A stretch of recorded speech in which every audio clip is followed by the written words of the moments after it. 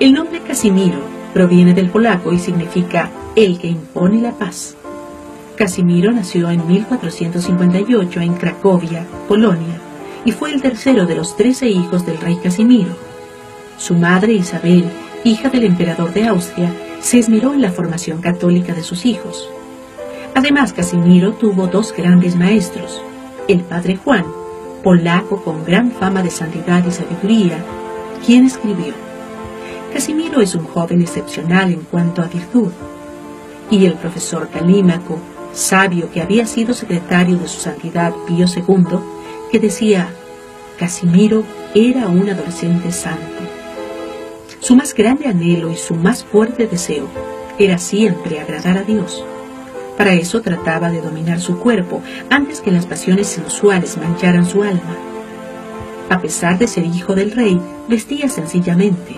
Se mortificaba en el comer, en el beber, en el mirar y en el dormir. Muchas veces dormía sobre el suelo y se esforzaba por no tomar licor.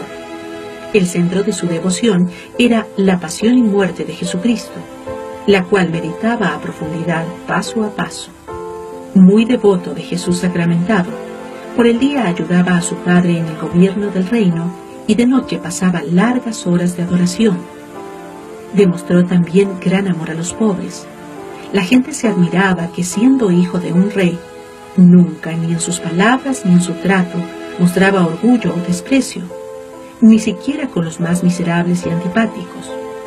Entregaba a los pobres no solo bienes materiales, sino también su tiempo, su energía, su inteligencia y su influencia respecto a su padre.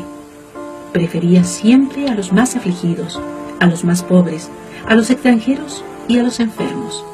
Defendía a los miserables y por eso el pueblo lo llamaba el defensor de los pobres.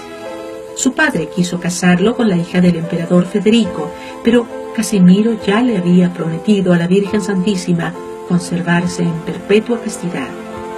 Los secretarios y otras personas que vivieron con él confirman que lo más probable es que este joven no cometió ni un solo pecado grave en toda su vida.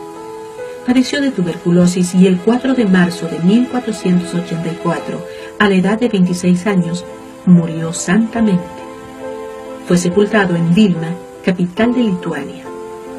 A los 120 años de enterrado, abrieron su sepulcro y encontraron su cuerpo incorrupto.